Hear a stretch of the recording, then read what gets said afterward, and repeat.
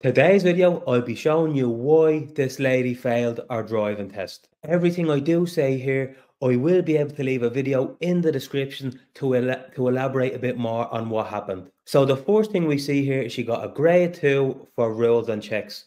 This just means she got three or more of her signs and questions wrong before she started driving. Below that, we see she got a grade 1 for technical checks that's usually something got to do with under the bonnet or doing the cockpit drill. Below that, we see another grade one for hand signals. She probably got one or two of our hand signals wrong out of six. Next, we can see we're into position. So she got a grade one and a grade two for position on the bends. This is kind of hard to explain, but position on the bends usually just means that if she was bending to the right, she steered too early and she ended up in the middle of the road as she bent around or if she was bending left, she was just a bit too wide and again in the middle of the road. Below that, we see she got three grade twos for position turning right. This can be a number of different things, and the video below will explain this. But it usually means she wasn't over to the center of the line, over to the center line enough, or she was coming in at an angle to the turn, or she steered too early, cutting the corner, or too late swan necking the turn. Below that then we see she got a grade 2 for position turn and left. This usually just means that she was too wide as she positioned the turn left around the left turn. Or she was turning left at a T-junction and she wasn't hugging around the curb the way she's supposed to. If you are finding this video useful and you would like to book lessons to pass your driving test, click the link in the description. Next, we see she got five grade twos for observation moving off.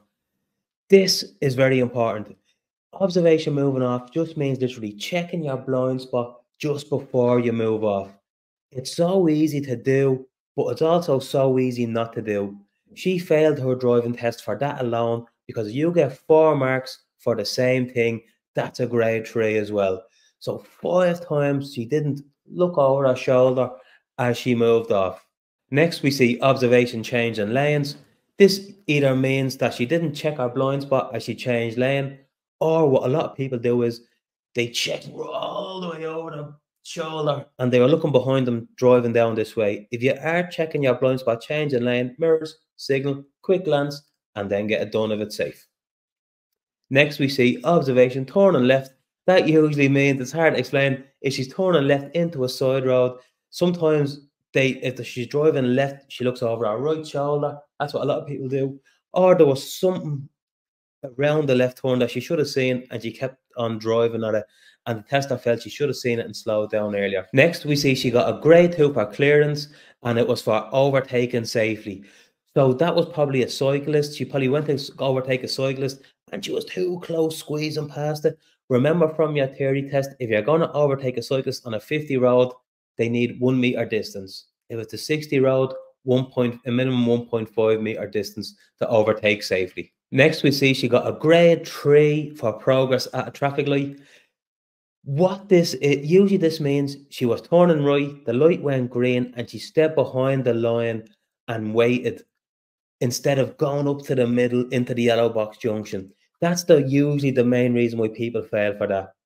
Or the light went green and she took too long to actually get the car going, and it was just she got beat and she was just too slow usually it's the yellow box turning right. That's how the why they usually fail for that. Next, we see she got a grade two for yield right of way, turning right. This usually happens at a T junction. She went to turn right at a T junction and looked right and left, seen a car coming and still pulled out in front of them. It was only a grade two. If it was a bit more dangerous, she would have failed. The tester felt, yeah, it was a bit dangerous, not that it was dangerous, but you should have waited, let the car go, and then you go. But it was okay, but I just gave you a grade two. It would have been better to wait. If you would like to send me your marking sheet, why not send me a text and I'll be happy to read it out for you. Next, we see she got a grade two for competency for the reverse around the corner and observation. So competency means she was either way too slow, or she was too wide, or she might have grazed the path. There's a few reasons, but the test I felt oh, it, it needs improvement. Also, observation meant she wasn't looking around enough when she was supposed to be looking around, or she was looking around and there was a car coming and she still continued to reverse without yielding to the car. And last but not least, she got a grade two for observation down the turnabout. She wasn't looking right and left, or she was looking and there's cars coming and she was continuing to do the maneuver without giving way. So that's it. Hope you enjoyed the video. Please, if you want me to do yours, just send me on your marking sheet. All the best.